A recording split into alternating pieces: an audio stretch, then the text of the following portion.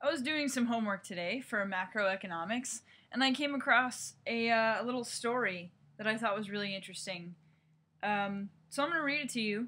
It's from my my macroeconomics book, specifically. Uh, this is uh, chapter 17, um, which is about uh, money, growth, and inflation. Anyway, um, it's a really interesting story. And also, I haven't made a video in a while because I've been doing this. So I might as well just make a fucking video about this. Alright, uh, let me put my new glasses on. Schwa. No, fuck all of you. Just fuck you. My less than Jake shirt completely offsets these glasses. Go fuck yourself. Alright. This story, boys and girls, is called The Wizard of Oz and the Free Silver Debate. A child, you probably saw the movie The Wizard of Oz, based on a children's book written in 1900. The movie and book tell the story of a young girl, Dorothy, who finds herself lost in a strange land far from home. You probably did not know, however, that the story is actually an allegory about the US monetary policy in the late 19th century. I think it's interesting. From 1880 to 1896, the price level in the US economy fell by 23%. That's a lot for you guys who don't know or don't care. Because this event was unanticipated, it led to a major redistribution of wealth. Most farmers in the western part of the country were debtors. Their creditors were the bankers in the east. When the price level fell, it caused the real value of these debts to rise, when, which enriched the banks at the expense of the farmers. Let me stop here and explain this to you. Um, mostly so I can display my knowledge of macroeconomics. See, when inflation occurs, especially with hyperinflation, so if you have if you've taken a loan out, say it's a student loan, and you've taken this loan out and then all of a sudden inflation occurs, well, since inflation has occurred, your dollars are worth less.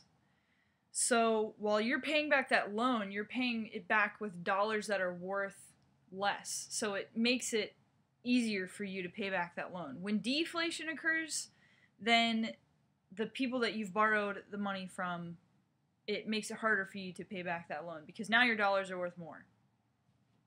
So that's why that's a big deal. According to the populist politicians of the time, the solution to the farmers' problem was a free coinage of silver. During this period, the United States was was operating with a gold standard.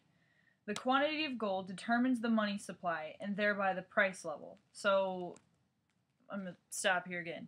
Um, when we were on a gold standard, it was called um, commodity money, meaning that if your money is backed by gold, you literally have to have the same amount of money equal to the amount of gold that you have.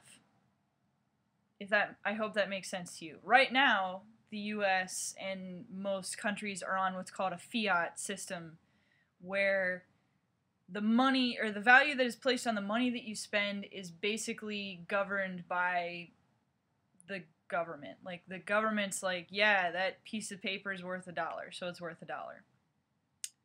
All right. Let's continue. The free silver advocates wanted silver as well as gold to be used as money.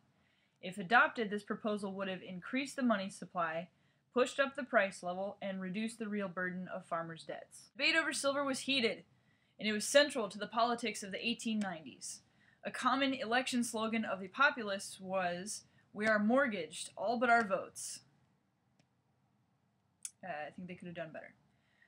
One prominent advocate of free silver was William Jennings Bryan, the Democratic nominee for president in 1896. He is remembered in part for a speech at the Democratic Party's nominating convention in which he said, This is so stupid.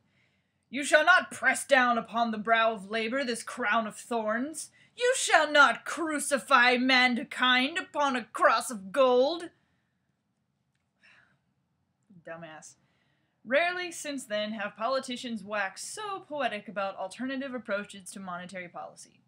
Nonetheless, Bryan lost the election to Republican William McKinley, and the United States remained on the gold standard, which was stupid. L. Frank Baum, author of the book The Wonderful Wizard of Oz, was a Midwestern journalist. When he sat down to write a story for children, he made the characters represent protagonists in the major political battle of the time. Here is how economic historian Hugh Rockoff, writing in the Journal of Political Economy in 1990, interprets the story. And this is the part that's most interesting. So, Dorothy represents traditional American values. Toto is the Prohibitionist Party. They're also called the Teetotalers. The Scarecrow represents farmers. The Tin Woodsman is industrial workers. The Cowardly Lion is William Jennings Bryan himself. The Munchkins are the citizens of the East. The Wicked Witch of the East is Grover Cleveland. Wicked Witch of the West is William McKinley. The Wizard is Marcus Alonzo Hanna, chairman of the Republican Party. Oz is the abbreviation for for ounce of gold, and the yellow brick road the yellow brick road represents the gold standard. In the end of Baum's story, Dorothy finds her way home, but it is not by just following yellow brick road. After a long and perilous journey, she learns that the wizard is incapable of helping her and her friends. Instead, Dorothy makes instead Dorothy finally discovers the magical power of her silver slippers. When the book was made into a movie in 1939, Dorothy's slippers were changed from silver to ruby. The Hollywood filmmakers were more interested in showing off the new technology of Technicolor than in telling a story about 19th century monetary policy. Although the populists lost the debate over the free coinage, coin, coinage, coinage of silver, they did eventually get the monetary expansion and inflation that they wanted. In 1898, prospectors discovered gold near the Klondike River in the Canadian Yukon. Increased supplies of gold also arrived from the mines of South Africa. As a result, the money supply and the price level started to rise in the United States and other countries operating on the gold standard. Within 15 years, prices in the United States were back to the level that they had prevailed in the 1880s, and farmers were better able to handle their debts. So I thought that it was an interesting story, probably just because I have my nose in that stupid book most of the time.